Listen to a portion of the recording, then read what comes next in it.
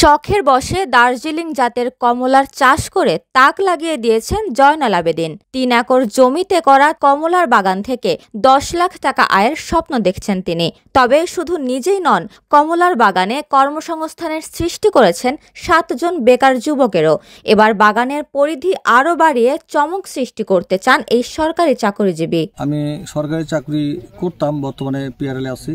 চাকরি করাকালীন সময়ে আমি যখন চুয়াডাঙ্গায় কর্মরত ছিলাম, তখন আমি একটা বাগান দেখতে যাই। কমলার বাগান দেখে আমি মুগ্ধ হই। সেখান থেকে চারা নিয়ে আসি। আমি নিজেও একটা উদ্যোক্তা হয়ে যাই। বেশ সফলতার মুখ দেখেছি। আমি প্রথমে ভেবেছিলাম হয়তো হবে না বা টক হবে বা উত্তরবঙ্গে হয়তো হয় না। কিন্তু এটা প্রমাণিত যে উত্তরবঙ্গের মাটি কমলা চাষের জন্য উপযুক্ত। একই সঙ্গে আমি বলব, যারা উদ্যোক্তা হতে চায়, আমি তাদের জন্য চারা তৈরি করেছি। আমার এখান থেকে চারা নিয়ে যেতে পারবেন। চারা নিয়ে নিজেরা এক বিঘা দুই বিঘা জমিতে লাগান। যেদিকে চোখ যায় শুধু কমলা আর কমলা। ফলের ভারে নুয়ে পড়েছে গাছের ডালপালা।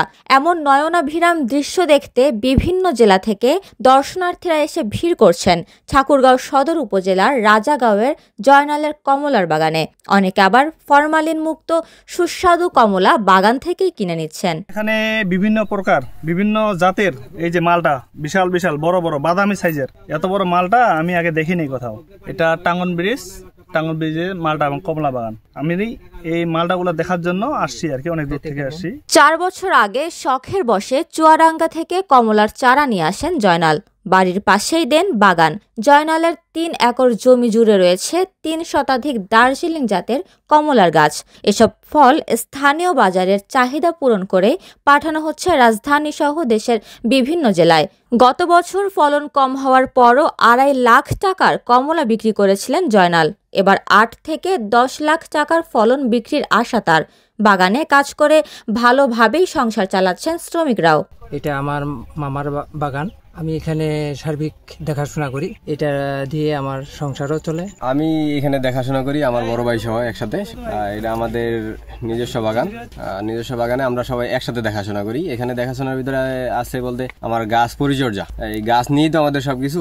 ফলের কীভাবে মান ভালো থাকে কীভাবে ন্যাচারাল ফল উৎপন্ন করা যায় এই বিষয়ে আমরা সবসময় ধ্যান রাখি বা কাজ করি। জয়নালের বাগানে দার্জিলিং এবং চায়না দুই জাতেরই কমলা রয়েছে। পাশাপাশি মালচারও চাষ করেন তিনি। জয়নালের দেখা দেখি এখন অনেকেই আগ্রহ হচ্ছেন ফল বাগানের প্রতি। আসছি কুষ্টিয়া থেকে। এই বাগান দেখতে গতবারের গত সিজনে এটেন বাংলা সহ জাতীয় দৈনিক পত্রিকা ইলেকট্রিক মিডিয়াতে যা দেখছিলাম এবার সিজন শুরুতেই চলে আসছি। চট্টগ্রাম চট্টগ্রাম থেকে। এখানে এর আগের বছর দেখছি আমি যে অনেক ফলন হয়েছে। তারপর এই জন্য এবার বছর শুরুতে চলে আসছি। আমি চিন্তা ভাবনা করছি যে এখান থেকে কিছু চারা নিয়ে আমি নিজেও একটা বাগান করার চিন্তা ভাবনা করছি। কৃষি অফিসের দেয়া তথ্য মতে ঠাকুরগাঁও জেলায় ছোট বড় মিলে সাতটি বাগানে কমলার চাষ হয়েছে। ক্রমশ বেড়ে চলছে ফলটির আবাদ। কমলা চাষে যুক্ত হচ্ছেন নতুন নতুন উদ্যোক্তারা। সংশ্লিষ্টরা বলছেন, এই ধরনের ফল চাষে একদিকে যেমন পুষ্টি ও ভিটামিনের চাহিদা পূরণ হচ্ছে, অন্যদিকে আমদানি নির্ভরতাও কমিয়ে আনা সম্ভব হচ্ছে। উপমা রায়, সোনালী নিউজ।